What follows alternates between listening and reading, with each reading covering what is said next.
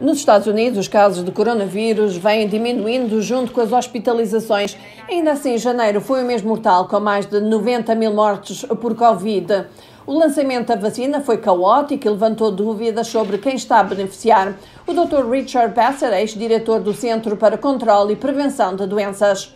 Podemos vacinar os que estão em maior risco de serem afetados, hospitalizados e perder a vida?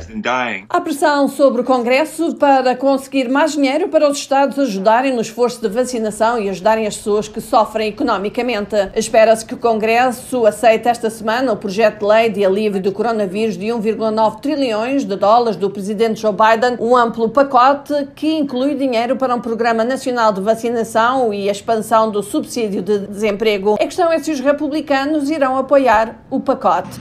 Eu sou pela aprovação do alívio da Covid com o apoio dos republicanos, se conseguirmos, mas o alívio da Covid tem que ser aprovado. Não há cis ou mais. Muitos legisladores republicanos questionaram o montante proposto e todos os gastos que são necessários.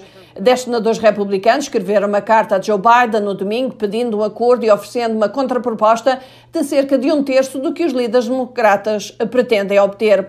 Um deles, o senador Bill Cassidy, um republicano da Louisiana, disse na Fox News no domingo que Biden não procura uma unidade real, mas refinamento do bipartidarismo. Os democratas afirmam que querem um processo que lhes permita aprovar o projeto com uma pequena maioria.